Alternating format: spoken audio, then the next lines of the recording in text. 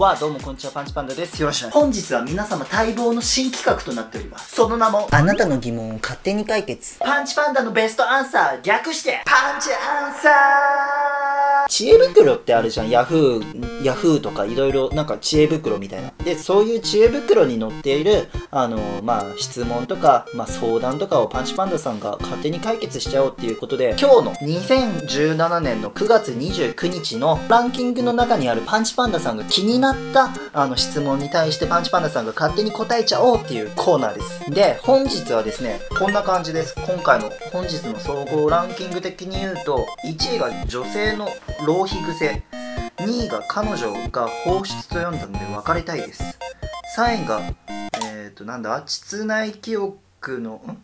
体内記憶？ん？いや4位が子供の変な癖。5位僕の妻が変な変な子を産みました。天罰2690僕の妻が変な子を産みました。妻が子供を産んだのですがなんか他の子と違うんです。こういうことってたまには起きるんですか？この子が幸せに生きていけますか？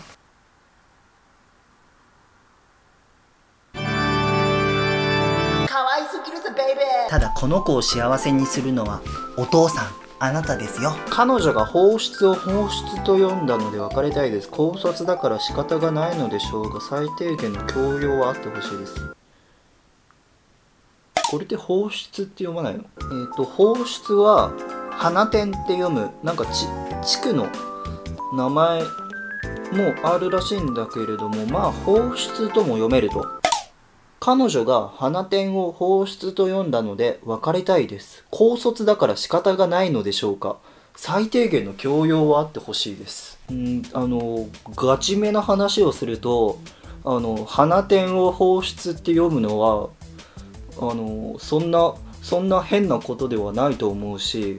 なんか高卒だから頭悪いってなんか言ってるみたいだけど、この人。なんかそれもちょっと腹が立つし、なんか別れるかどうかをちょっと知恵袋とかそういうね SNS でちょっと質問してるのもちょっと気持ち悪いし逆にこの人の彼女さんがちょっとかわいそうだなって思うんで彼女さんぜひよかったらこの人と別れてください。子供の変な癖。2歳になりたての息子がいます。数ヶ月ほど前から本人のテンションが上がっている時遊んでて楽しい時や興奮している時にアントニオ猪木のような志村けんのアイーンのような下顎を突き出す仕草をします。こういうことかな正直変な顔で面白いので突っ込みたかったのですがそうするともっと面白がってやると思い主人も私も触れずにいました。するとしばらく経ってからやらなくなったのですがここ1ヶ月ぐらいは毎日何回も何回もアイーンをやります。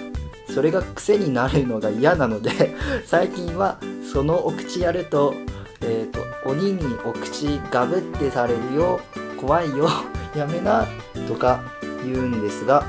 すでに癖癖になっているのか1日に何度もやります。こういう癖って治るのでしょうか？それとも2歳ではもう遅いですか？同じように変な癖を持ったままお母さんたちどう子供に注意してますか？ということで、まあ、子供2歳ぐらいのね2歳になりたての子供が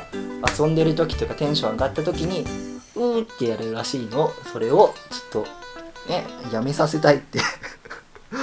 かわいいな。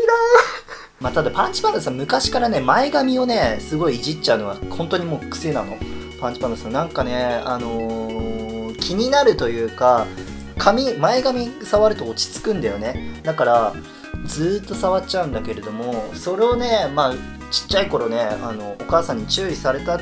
ことはあったんだけれども結局治らなかったんだよね。ただやっぱり2歳ぐらいでしょ2歳ぐらいの子供の癖っていうのは多分大人になるにつれて治ると思うしテンション上がった時にこうやっちゃうんでしょんなんかね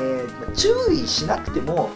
治ると思うけれども、まあ、ただあの、まあ、お母さんがあのそうだね今ちょっと気になってるようだからまあ注意、うん、そうだね気になったら注意してまあ子供のやることはちょっとねあの変顔って言ったらなんか友達笑わせようとしてやってることだと思うからうんまあ、そこまで怒る必要はないけれどもちょっとそれはおかしいよっていうことを伝えて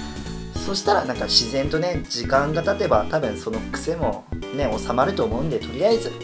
気になったら注意すればいいんじゃないでしょうか。パンチパンダさんは子供歴がすごい長いというかまあ親歴がゼロ未経験だからよくわかんないんだけれども。あーじゃあこれベストアンサーになれないかもな。